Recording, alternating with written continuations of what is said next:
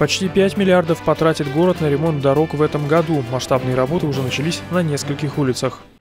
В апреле ремонт дорог начнут на 16 объектах, а всего в первый этап входит 66. Выбрать их помогла диагностика. Ее провел городской комитет по благоустройству. Однако в перечень вошли не все магистрали, которые рекомендовали починить. В адресную программу не попали улицы, где помимо покрытия необходим ремонт инженерных коммуникаций.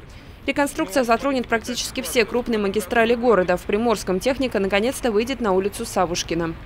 Э, ремонт на улице Савушкина продлится немножко, возможно, дольше, потому что это связано с очень сложной схемой организации дорожного движения.